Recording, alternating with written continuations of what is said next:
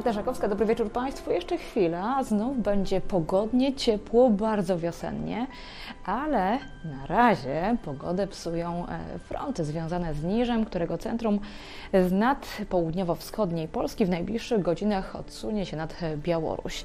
No i na niebie przeważać będą wspomniane frontowe chmury, z których popada deszcz. Miejscami, zwłaszcza w centrum opady w nocy mogą być intensywne.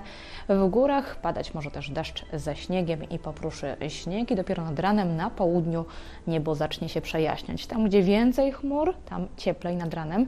Na północy od 5 do 3 stopni, a na południu rozpogodzenia poranne sprawią, że temperatura spadać może do zera lub poniżej tej e, wartości.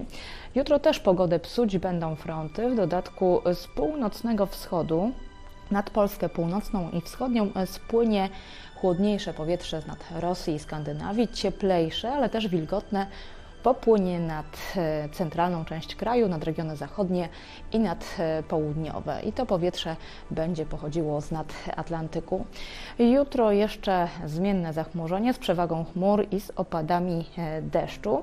Jedynie na południu szansa na chwilę z pogodnym niebem. Zróżnicowana temperatura, proszę spojrzeć w rejonie Zakopanego 4 stopnie, a znacznie cieplej, chociażby w Szczecinie do 11 stopni, w centrum 9 lub 10 pokażą termometry.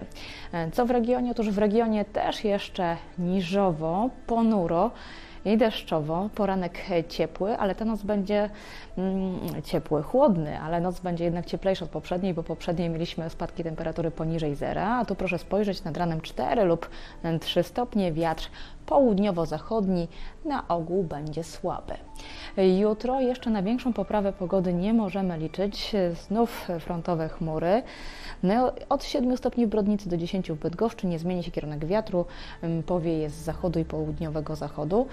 Słabo lub najwyżej umiarkowanie. Ciśnienie zacznie się wahać. Jutro w południe barometry pokażą 999 hektopaskali. Już od piątku więcej przejaśnień i cieplej, bo do 12 stopni.